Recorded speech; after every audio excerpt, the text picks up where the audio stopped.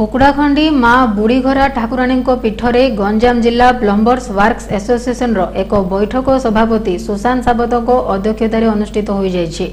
ଏଠାରେ ନୂତନ କମିଟି ଗଠନ କରାଯାଇଥିଲା। ଏଥିରେ କାର୍ଯ୍ୟକାରୀ ସଭାପତି ବିକ୍ରମ ସାହୁ ଉପସଭାପତି ସୁବାସ ଦାସ ସମ୍ପାଦକ ଲକ୍ଷ୍ମୀନାରାୟଣ ପ୍ରଧାନ ସହ ସମ୍ପାଦକ ଟୁକୁନା ଗୌଡ଼ କୋଷାଧ୍ୟକ୍ଷ ଏ କୃଷ୍ଣମୂର୍ତ୍ତି ପାତ୍ର ପ୍ରମୁଖ ଉପସ୍ଥିତ ଥିଲେ। ସଂଘର ଆଇନ ପରାମର୍ଶଦାତା ଭାବେ ପ୍ରମୋଦ କୁମାର ସାହୁଙ୍କୁ ଦାୟିତ୍ୱ ଅର୍ପଣ କରାଯାଇଥିଲା। ます